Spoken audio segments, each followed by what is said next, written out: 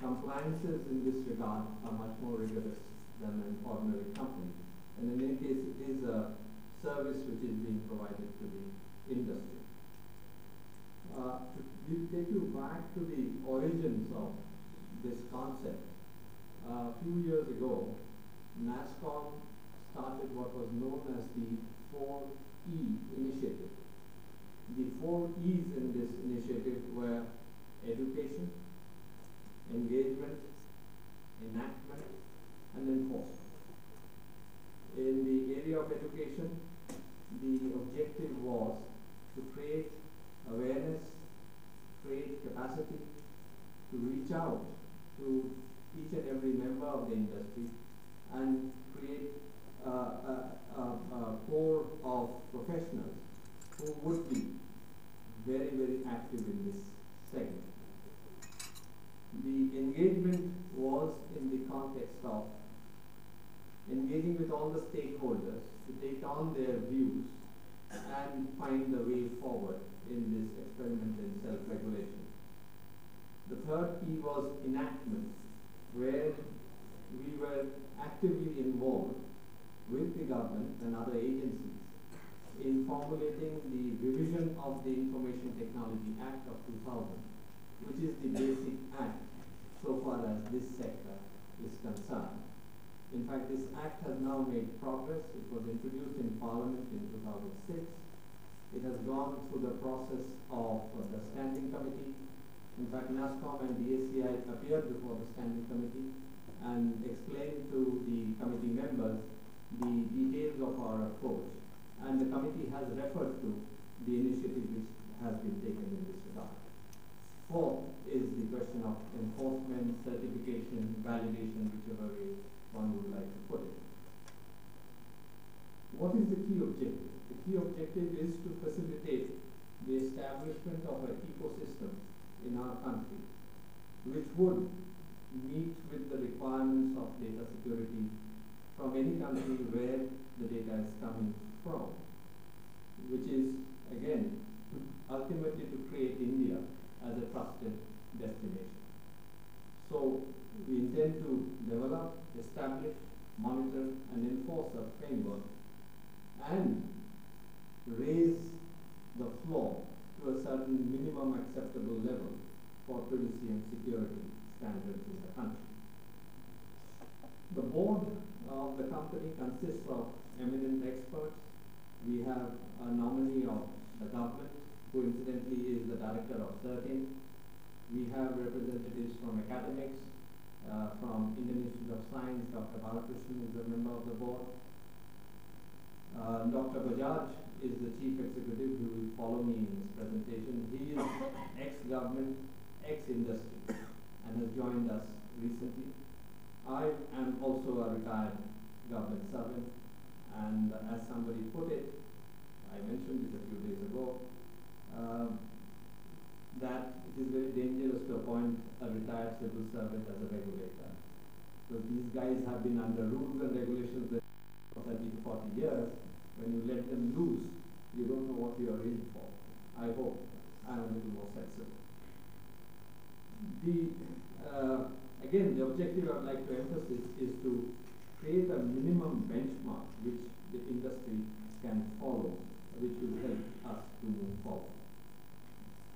I would like to dwell a little bit on what, how, and before that, why DSCI? Why have this approach of self-regulation? Why not a statutory regulator like in the telecom sector?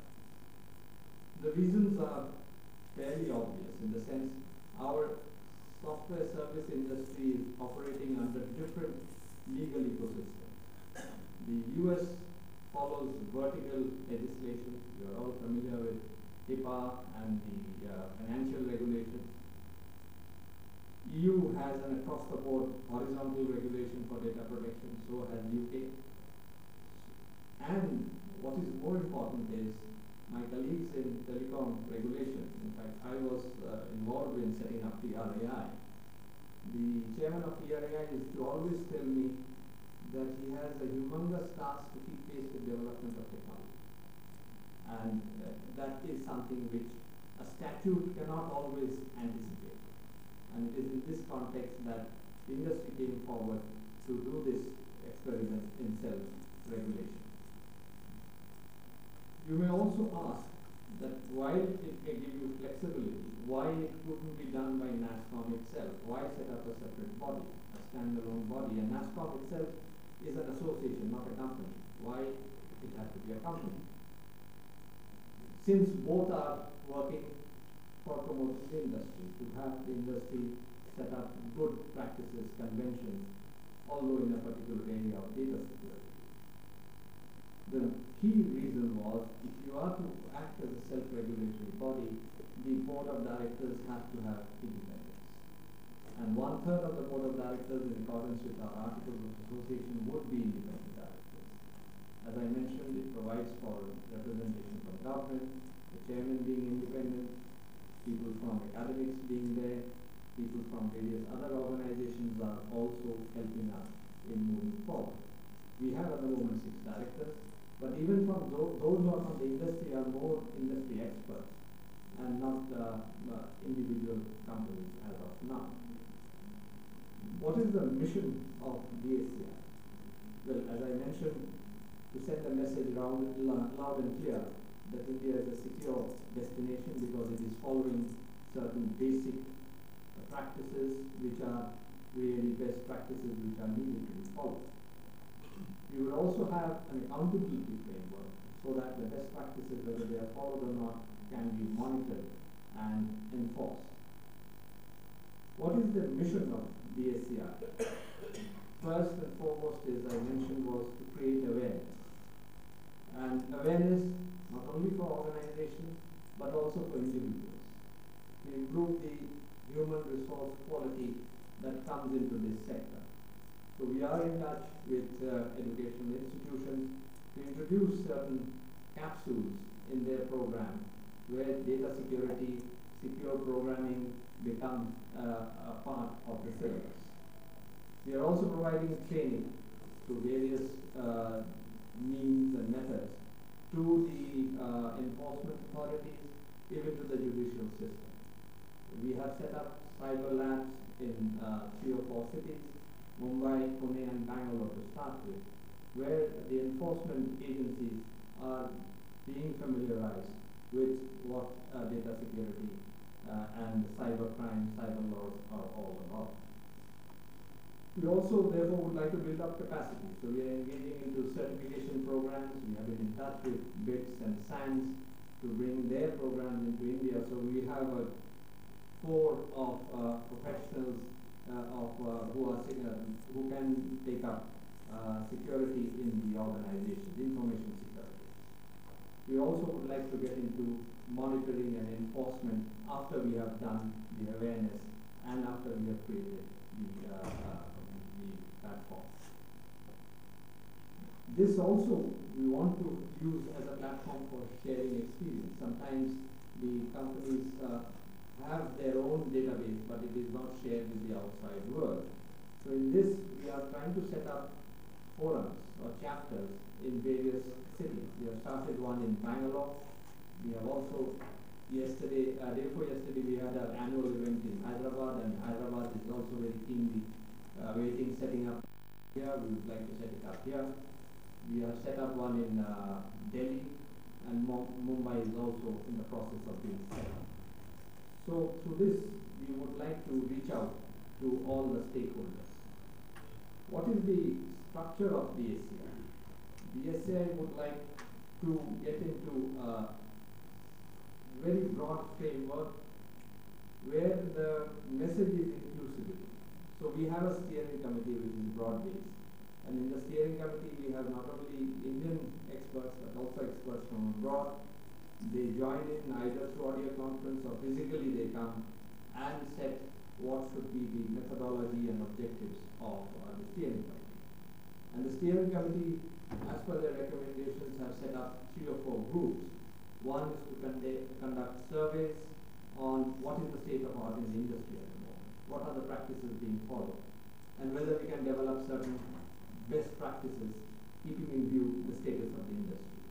There's a group on education which is working out the programs which uh, we should get into, organizing events.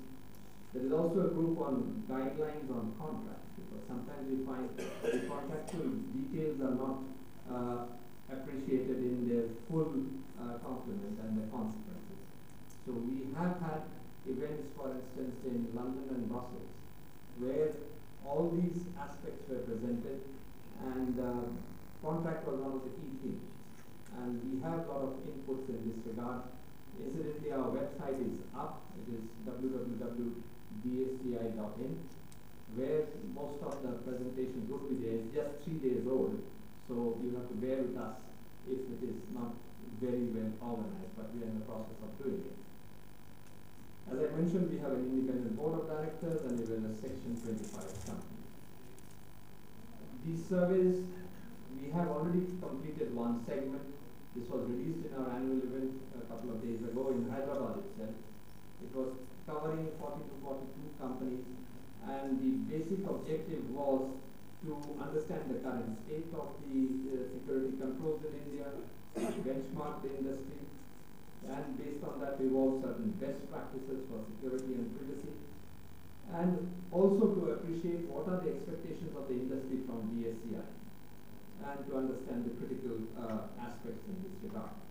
It was done through a questionnaire which addressed not only the CEOs but the HR head and the IT head. And as I mentioned, it covered about 40 to 50 uh, companies. And the questionnaire covered the whole gamut of uh, issues relating to uh, security.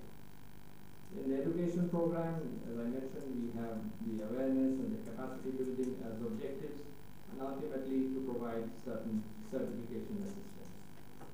We are also in the process of evolving guidelines for which we are going to conduct another survey to find out what are the key points uh, in this regard. In this context, it may not be, uh, uh, it will be worthwhile to go through what is the Indian legal framework for data protection and data privacy because sometimes it is said that we do not have a very strong framework in this regard. I think the first issue arises is we don't have one single legislation covering all the gamut of data security. There are multiple legislations and it starts from the Indian constitution. My colleague Bakul will dwell on this a little more. It is enshrined in our fundamental rights and there is a case law which has been developed which ensures private data is protected. Of course, the Indian IT Act of 2000, which is being amended, uh, is the basic uh, uh, act which legislates on data security. The Indian Copyright Act also provides protection uh, of computer programs, including the Intellectual Property Rights Act, which protects the development of computer programs and products. Of course, the Basic Act of Indian Penal Code is there for punishment of the offences which come under IT Act also. And the Indian Contract Act also covers the contractual obligations that are being entered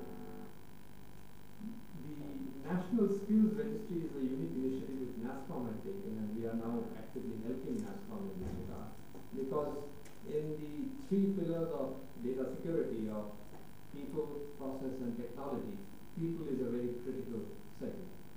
And for this, we have set up a registry, it is a web-based uh, uh, initiative where the IT professionals who want to enter this sector on a voluntary basis can put in their name for uh, antecedent check, educational check, background check, so that, and this is done through fingerprinting also, and there is a standard verification process.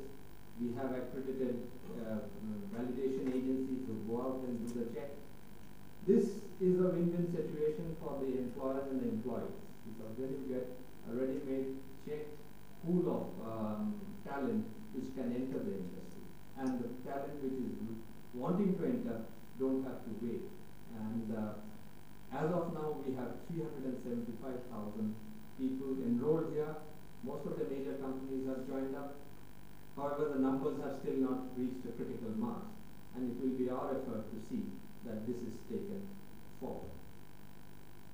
The amendments of IT Act uh, are well known. We are hoping that in the forthcoming, forthcoming session, this is taken up, but I would just touch upon one particular uh, area which this act intends to cover, which is critical for us.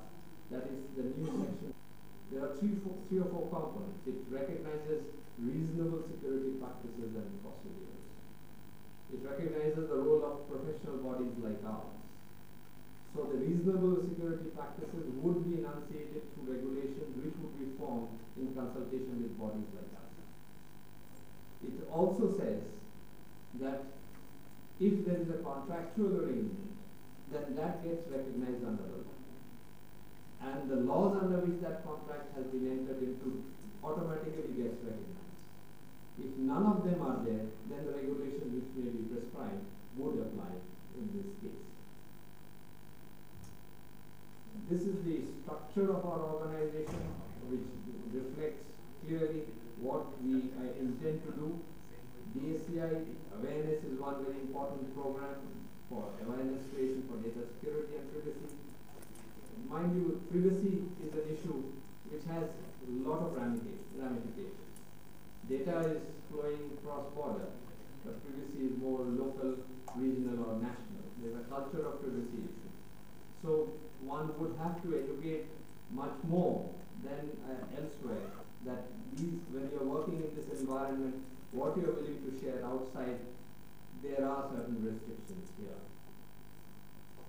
Then we are also, as I mentioned, will be setting up standards and best practices, not new standards, taking into account the existing standards, evolve best practices so that the floor is raised because this is one industry where there, if there is one black sheep, it brings bad name to the entire sector. And this is a high profile sector and the industry is very keen as to how it will operate. There will be self-checks plus a certification. One may say, what is the sanctity? It's not a statutory organization. Why should anybody come to you for a check? Our mission is to establish DSCI as a model where if you are not with us, if you are not recognized by us, if you have not gone through a process of either self-assessment or a certification, then more likely than not, business may not go to you. It's a market-based model where the market will act as the regulator ultimately to see that you follow the best practices. We also will have a panel of auditors where in certain cases audit, or if it's necessary, will be done. Plus, we also intend to have a grievance resolving mechanism with the clients and the client customers, which will facilitate all some of the problems which need not go to courts of law or litigation. So this in brief is what we intend to do and uh, we have just started and we would like inputs coming from anybody interested to make this mission a success. Thank you.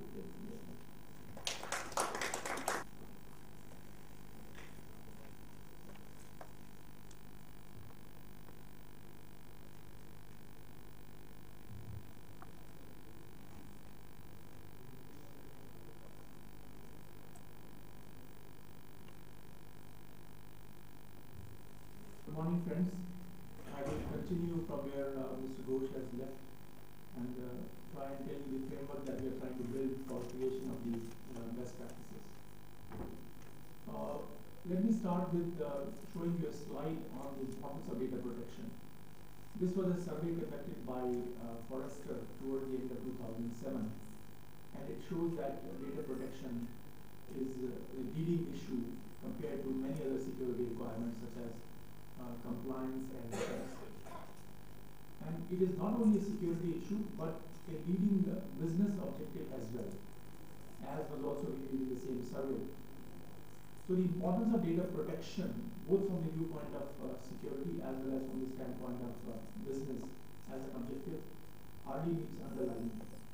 So let me now take you to what is the current scenario in India on security practices and uh, data protection practices. This is a survey that was done by Cisco in the month of August 2008 on a number of companies in uh, four emerging uh, uh, IT IT choices of destination for the Western world. That is uh, Brazil, China, India, and there is one more country. So they compared the practices of these countries as also the Western world. and the Western countries including UK, France, uh, and the United States. So I have taken uh, 14 parameters out of that study. Uh, it is published on the website of Cisco in the month of September 2008. And the survey was conducted among the IT security managers as well as actual employees. Nearly 100 uh, employees and 100 security managers were covered in each company. Total was uh, much larger, but in each company, in each country, this was the number that was covered. So if you look at these uh, 14 data security issues, you would find surprisingly that India does very well compared to not only Brazil and China, but also with respect to the Western countries. For example, if you look at the very first one, on sending, receiving personal email through a work email account, the Indian employees who responded using this is 37% compared to 50% in UK and 54% in France. It is deemed to be a security issue. But if you look at the practices, then in terms of a practice, uh, we are doing reasonably well compared to uh, many other countries, including the Western countries. And um, there are only three, four uh, parameters or three, four queries on which uh, India did uh, not well compared to UK and France. So I will not go through the entire uh, 14 questions. This presentation will be available on our website by, uh, by Monday.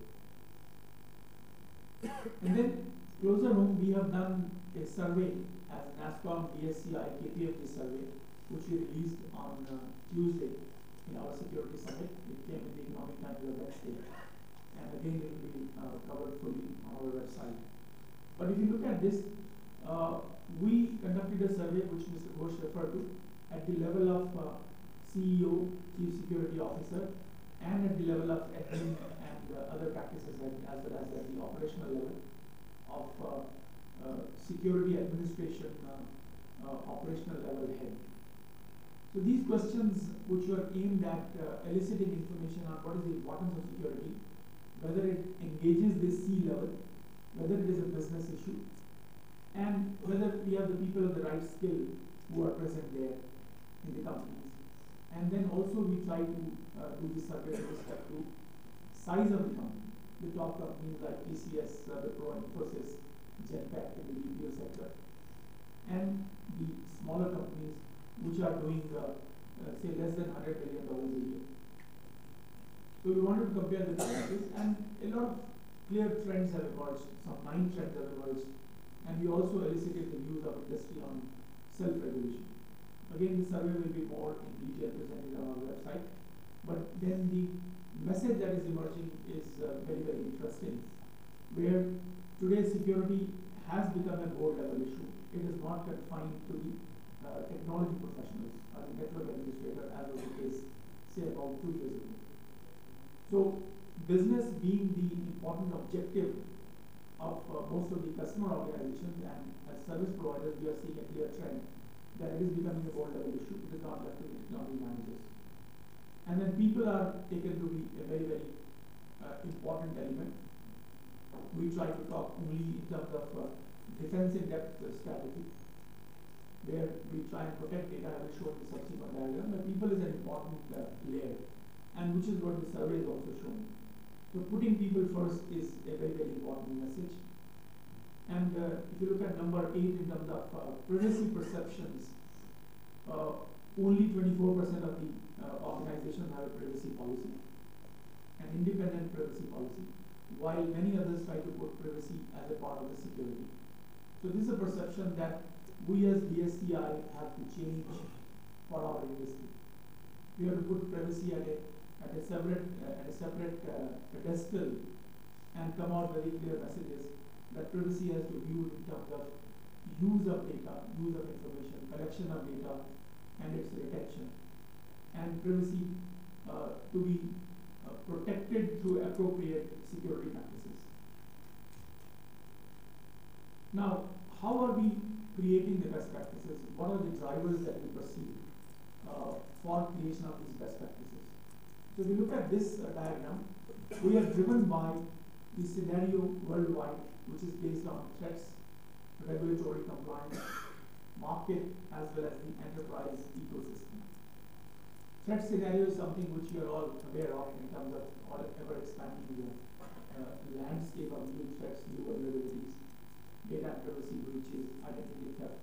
So this is all related to practices as well as the technology. And of course, process is the glue that binds people with the technology. And the regulatory requirements of various countries in which we are providing services and they are globally sourcing or outsourcing to India. We were to comply with the, uh, with the laws of the land there. Like Mr. Ghosh also mentioned, that uh, uh, data is generated locally and it is subject to compliance requirements of that country, but then data flows are global. Data flows cannot be stopped, they keep flowing all over the world. And everywhere the data reaches, there's an accountability of data framework. So we must comply with the local requirements where the data originates and then follow the practices which comply with that particular requirement. And then every enterprise operates in, an overall ecosystem of globalization, critical dependence, and security in the business And market, of course, technology is driving things, new and new products are emerging, but how to deploy them and uh, how to deploy these solutions again so as to be in compliance with the requirements of uh, regulatory compliance. But then this is again uh, uh trying to again further um, uh, talk on the point which I made, that data flows are global in nature. As you can see from this uh, slide, that outsourcing continues to grow, notwithstanding the concerns worldwide.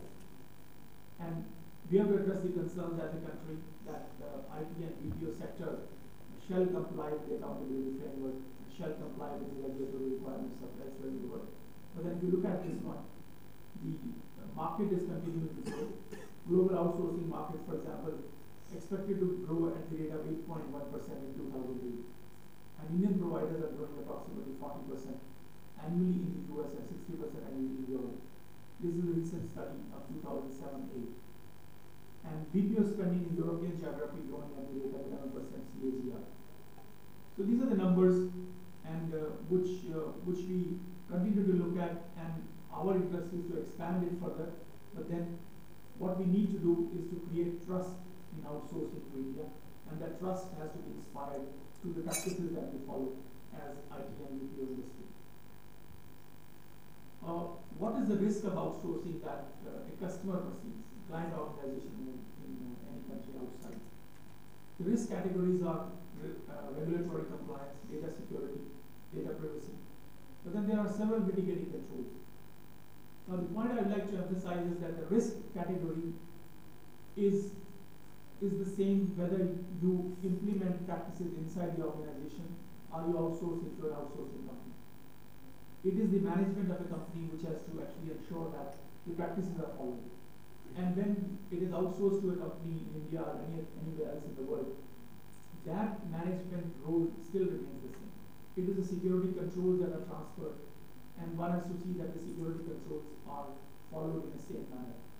So the outsourcer has to become a part of the the outsourcing company. It has to become a partner in the implementation program, and that is how the security program can succeed. So mitigating controls in the form of uh, uh, several security and privacy controls have to be implemented at the people level, at the process level, at the technology level. So it boils down to securing the service provider, and IT or BPO company, at the strategic view level for information security and the operational view. Several programs have been implemented, several controls have been be implemented, and they have to be implemented on a 24 by 7 basis, not implemented once but on a continuous basis. So this leads us to what is our view of data protection? What is the kind of uh, uh, best practices that we should create? It is this diagram which uh, will give you an entire perspective of where we are coming from. If you look at the strategic level on the left side, and the operational level on the right side. It lists out all the parameters. We, we should create a security strategy, an enterprise security architecture, security policy procedures, which should all address at the operational level on threat and vulnerability management, security monitoring, and uh, security testing. As you would all agree, the recent incidents in India reveal that it is the security monitoring and testing on a continuous basis that is the answer, whether at the physical level or at the uh, technical infrastructure level. It is not an implementation once and forgotten about. The key to security and success of data protection lies in implementing and monitoring on a continuous. Without monitoring, security will come to a naught. And hence the importance of the top layer, that is the people of the management layer. Because it is ultimately the people who are actually implementing these controls. So people have to be made an important element, people have to be fully trained, security awareness not once, but on a continuous basis. So this is a part of the best practice that uh, we are talking about for the companies. I'm not talking about the technical part, but if you look at the way people is the outmost, outermost layer, then we go to secure perimeter, network, system, application, and data. It is the data that we are trying to protect, and we are emphasizing the application uh, secure code development. We conducted a tutorial on the first in Hyderabad, There are more than 40 programs programmers attended uh, from various companies. So we are trying to put a focus on secure application code development and in terms of other practices the uh, centers to follow these practices. So if you look at slightly more enlarged version of the central part, what is our role?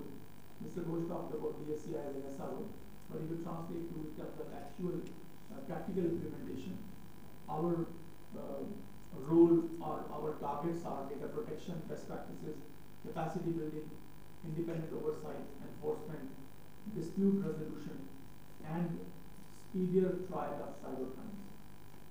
Cyber criminals have to be brought to justice. If there's a breach, then we must investigate, bring them to justice. Otherwise, we cannot apply trust against data protection. And then we have to comply on the left side uh, the, with all the privacy regulations all over the world, depending on the coming from, or the data might be migrating over several boundaries. And then on the uh, right side, in terms of technology solutions that we create. And all these are based on the industry best practices, which are in the nature of ISO 27001, risk management methodologies, and the IT governance framework, and several other security standards and so on. But only one thing we'd like to assure is that we are not in the game of inventing any. We are not going to create any new standards or saddle the industry with the additional burden of compliance. We are going to create appropriate subsets from say ISO 27001, PCI DSS, depending upon the requirements of a specific uh, uh, IT or BPO company. A BPO company which is focused on providing medical database or uh, call center which is working with a client in the US dealing with uh, financial regulations. So we shall create subs, uh, subsets of practices which they will find it easier to implement and uh, less expensive to implement and not be saddled with any new standard at all. So in a way, if you look at it, it's a sample, uh, what kind of uh, best practices we shall come up in specific areas like environment security, physical security, security monitoring, workstation security, personnel security, incident management, when incident happens, what kind of uh, response mechanism should be there. So in all these, we are going to create uh, uh, best practices, uh, create a tool of self-checks, and maybe go through an audit process also for uh, certification. I'll skip this one, it's a more matter of detail. But then the message that we like to give is that yes, outsourcing offshore is a real risk, but it's manageable risk. And the security controls and management controls, they remain with the outsourcer, and they have to exercise the same powers over the outsourcing company, who should be a part of, who should be uh, treated as a partner in the entire network of uh, implementation. So we are looking at uh, best practices, control principles, security controls, and establishment of assurance mechanisms, and dedicated standards for building and operating outsourced delivery centers, and compliance support processes. So the message which we would like to convey, in addition to self-regulation, adoption of best global practices, independent oversight, and uh, focused mission, is that it's a totality of security best practices and following some tactical steps together. This may help to address data security issues in global sourcing. And this is a message which emerges from the Gartner's outsourcing and IT security summit in uh, 2007. This is something which Mr. Ghosh talked about. We're working towards this best practices, self-checks, auditing, certification, and above all, education awareness, which is a continuous uh, program that we have uh, we have started and we will continue over the next uh, uh, year or so. Not to stop with that, but it will be an ongoing program. So with this, I will stop my presentation and request uh, uh, Mr. Vakul Sharma, Supreme Court Advocate, to come and make his presentation. Uh, I'm thankful to the SAI for their kind invitation. I'm going to look into this uh, myths and realities. Because the point is, if DSCI has to be a self-regulatory organization, and the foremost factor is that what kind of myths and realities exist presently, not in India, but also outside India regarding the uh, this data protection and privacy issues. So what I'm going to look into is, this is a kind of a concept. Future rests on present and present rests on the past. If I'm going to look from this point, then the myths or the part of the myths are being created.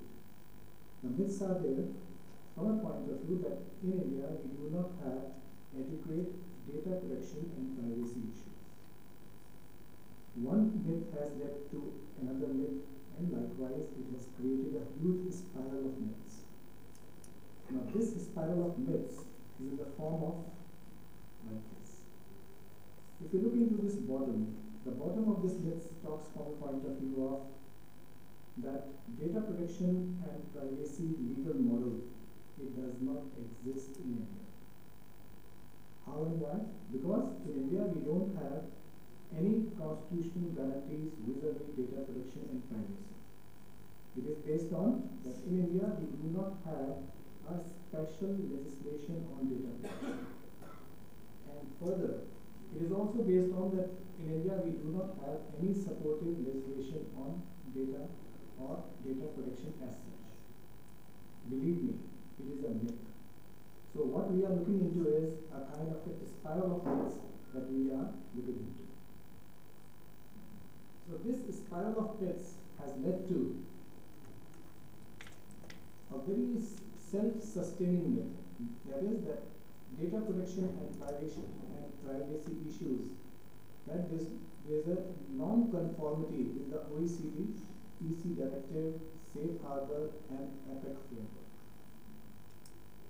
Now, if we just look into that point of view that in the international context, India has no data protection and privacy issues.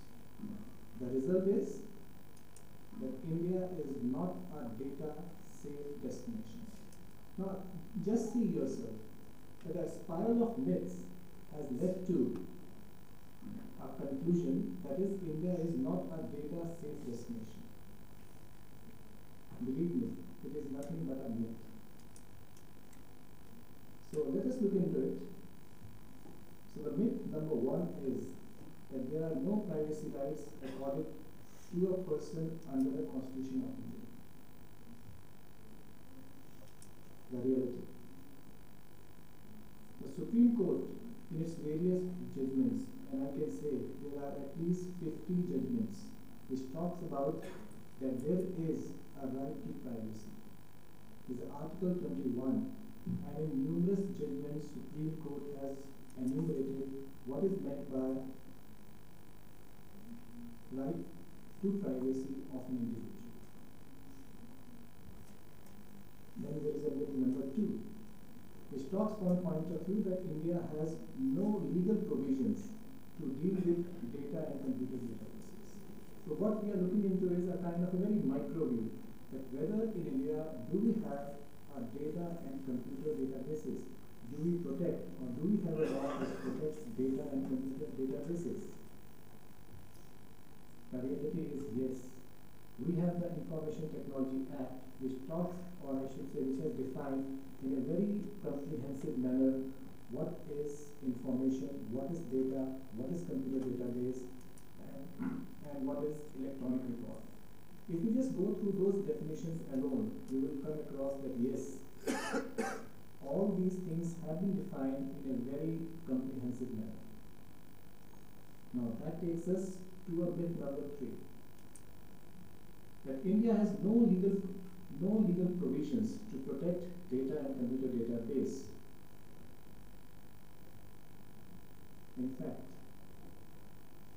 when we talk from a point of view of whether we have got uh, some kind of a legislation to that effect, and yes, Information Technology Act provides us this kind of a thing. And we can say that yes, at present we both have civil and criminal liabilities. If there is data protection breaches or there is a privacy breaches, then yes, the IT Act, that is the Information Technology Act, looks into both civil and criminal liabilities. These liabilities have been defined under a category of cyber contraventions and cyber offenses. Now, if I have to just compare uh, these two in a single slide, then what we can look into is that both these things have been defined or I should say they have been articulated in a very simplistic manner. That is, cyber contravention deals primarily with unauthorized access, and whereas offences, they deals from a point of view of serious offences. On one hand, we are looking from a point of view of section 43, and there we are looking from a point of section 65. So on one hand, we have civil prosecution, and on the other hand, we have a criminal prosecution. So the myth is already broken. Is There is another myth that no legal provision to protect computer infrastructure in India. I think it is one of the biggest myths of all that in India we do not have any legal provision to protect computer infrastructure, or I should say critical IT infrastructure as such. That if we are going for a reality check, then yes, the IT Act has defined what is meant by a protected system. Section 70 talks from a point of view of defining protected system. And when we talk about a protective system, the law has mentioned the word the appropriate government. The appropriate government means we are talking not about the federal government. We are also talking about the state governments. Means every state in India has legal obligations to protect the IT infrastructure.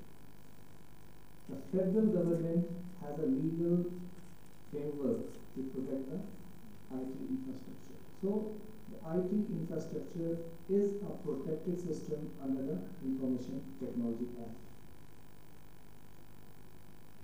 And the myth number five, that there are no supportive legislations on privacy and data protection in India. And I think this is one of the most uh, oft repeated kind of a myth that in India we do not have not even a generic legislation, we are not even having a specific ones.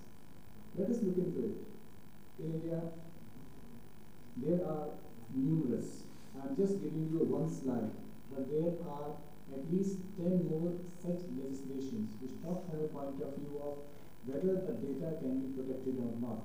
So we have the Penal Code, we have the Indian Telegraph Act, the Contract Act, Specific Relief Act, and you name it. I mean, there could be a lot of such legislations which are not covered under this slide, but which are part of the what is known as data protection and privacy regime in India. And I would like to draw your attention to the last uh, act which is mentioned here, Credit Information Companies Regulation Act 2005 it is, I should say, a, a beauty as a legislation because it talks from a point of view of what and in what way financial institutions have to protect the individual data and databases. It is the most remarkable legislation of its kind and it is as comparable to any other similar legislation anywhere in the world. Myth number six. Indian laws lack international privacy and data protection principles. It is the most amazing myth that Indian data protection and privacy legislations, they are not, they are, they are not at par with the European or with the American practices. I will just try to make a, some kind of a comparison of the present Indian practices and the international practices. I will start with OECD guidelines, uh, data protection directives, US Harbor Data Protection Act of UK and APEC Privacy Framework. I will try to compare that how Indian law is comparable to OECD, EC data uh, EC data protection, US Safe Harbor, and the data protection and APEC framework.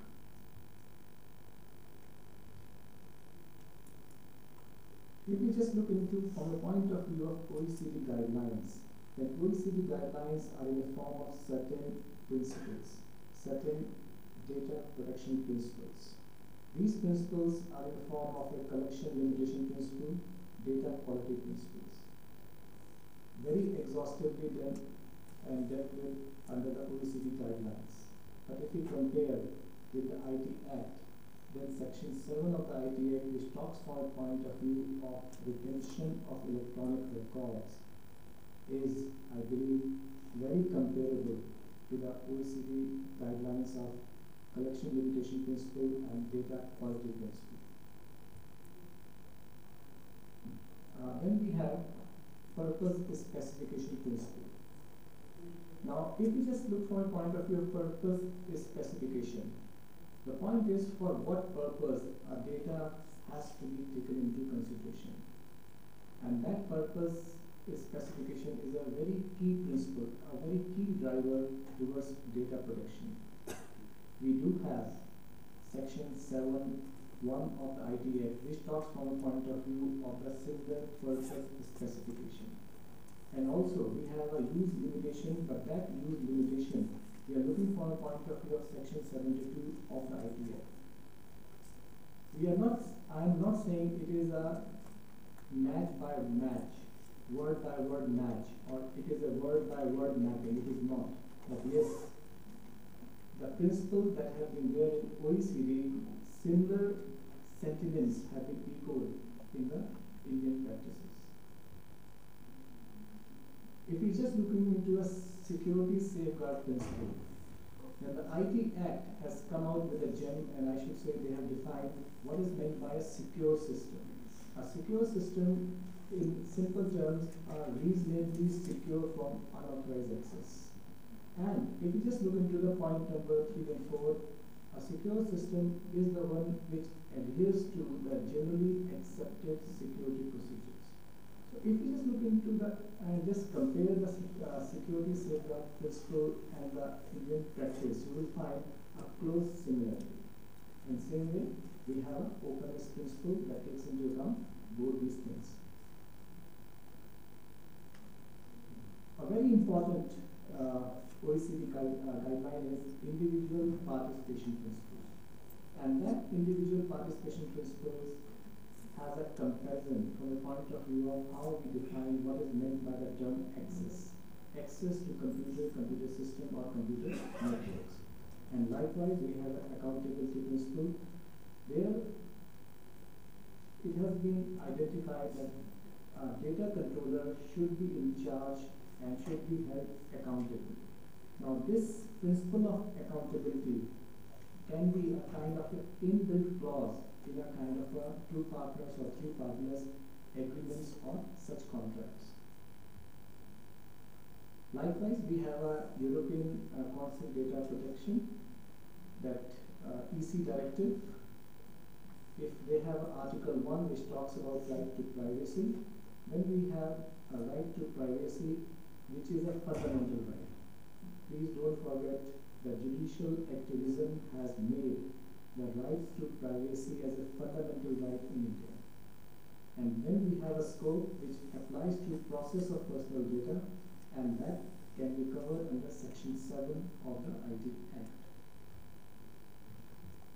Processing of personal data. The point is, have we defined what is meant by personal data? Yes, we have not defined, but IT Amendment Bill 2006 has defined what is meant by the term personal data. But that personal data, I mean, the scope of that, what is personal data can be read from section seventy-two of the Act. So this is how, I mean, an entire set of principles. If we look from that particular point of view, then those can be easily seen as they are matching with the European directive as well. I would just like to draw your attention to the European directive and they have a very beautiful directive from the point of view of principles related to data quality.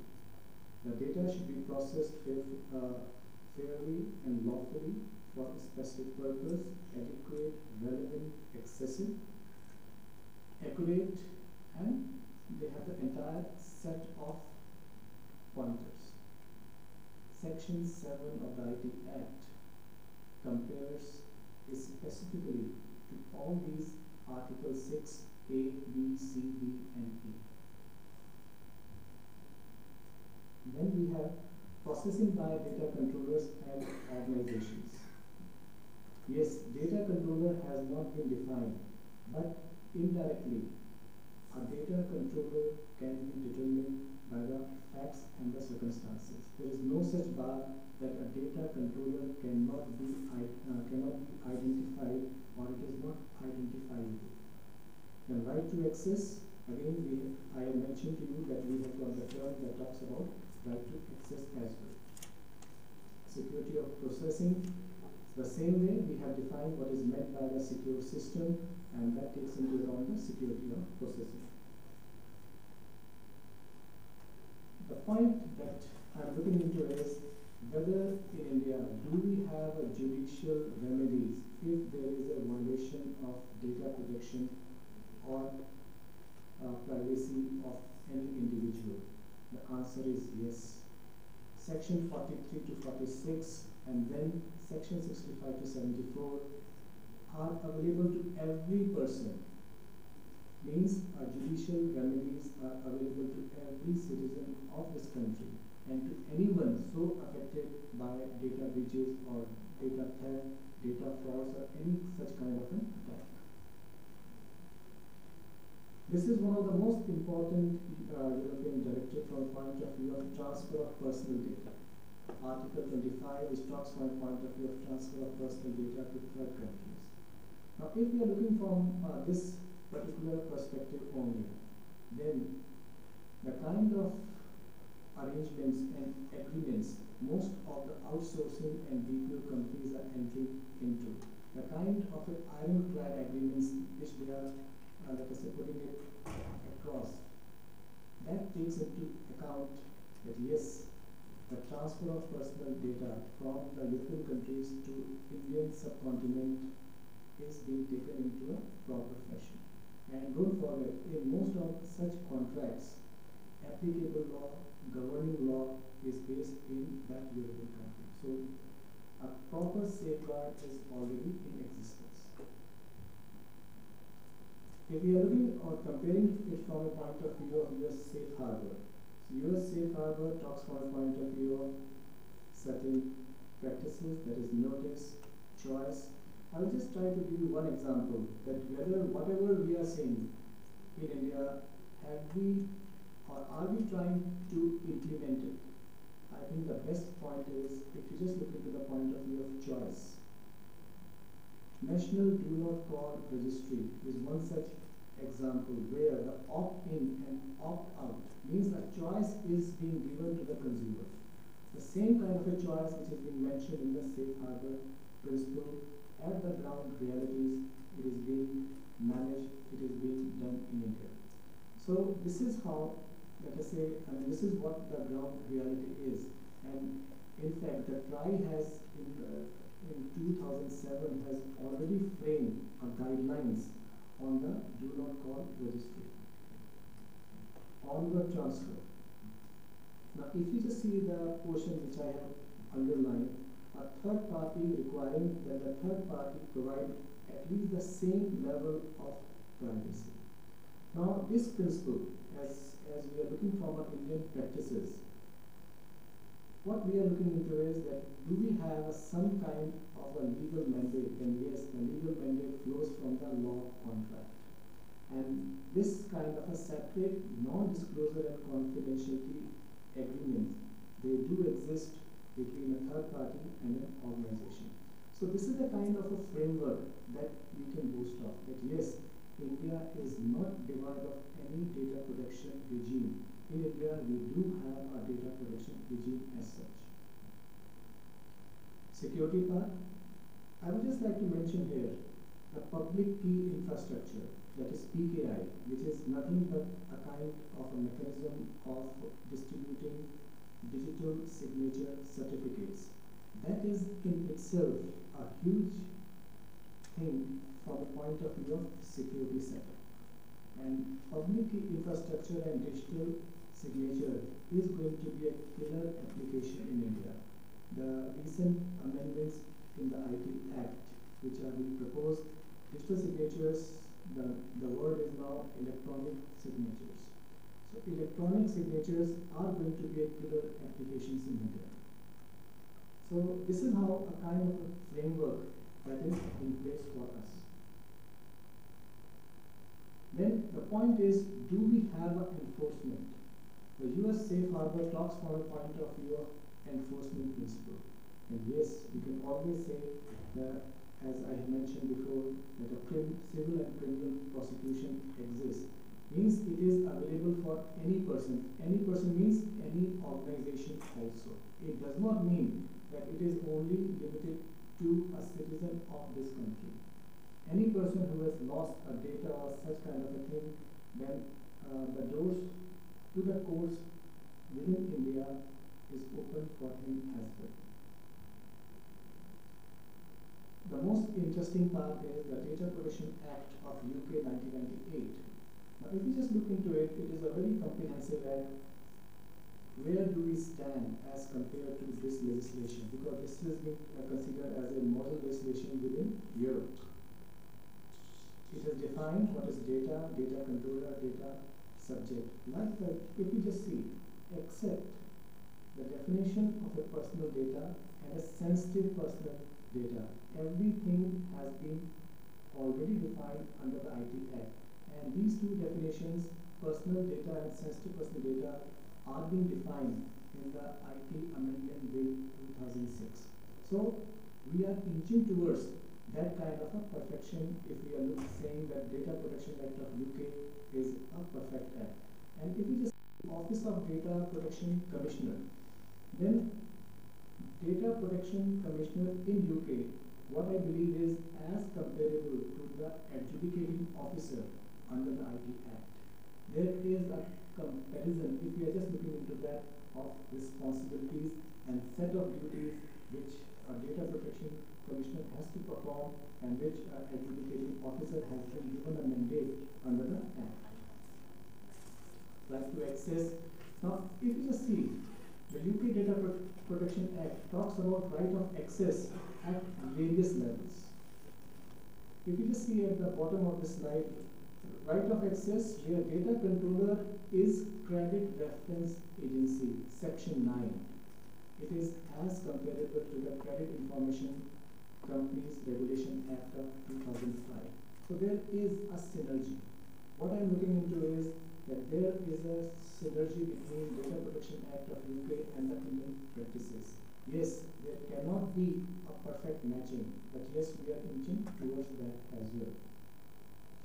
Then we have right of access, where we are talking about right to prevent processing for purposes of direct marketing at a ground level the Unsolicited Commercial Communication Regulation 2007 is just like that. Preventing processing for the purpose of direct marketing. So this is how what we are looking into is a complete consonance with the international practices. Then we have a compensation part and then a data controller making certain information available. So this is how things stand on this day. Yes, like any other legislation, there is a bar when it comes to the national security. The same aspect has been taken into consideration under section 69 and then under section 5 and 7 read with Rule 419A of the Indian Telegraph Rules. So the national security aspect has already been taken into consideration. Enforcement notices, like if they have notices under section forty, we have got the comparison from a point of view of Civil Procedure Code of India